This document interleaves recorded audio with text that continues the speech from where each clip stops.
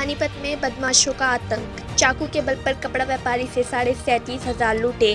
Car आने पर भागे बदमाश तो बची स्कूटी और मोबाइल।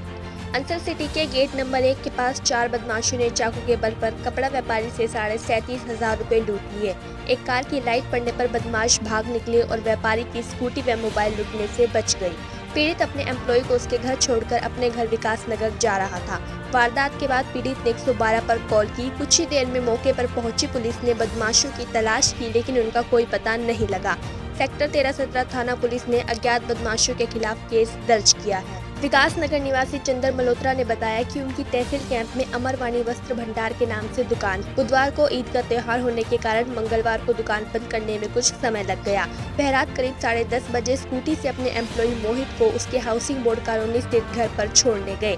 जब वह वहाँ से वापस लौट रहे थे तो अंसर के गेट नंबर एक के पास पहले से ही एक लड़का सड़क पर खड़ा था।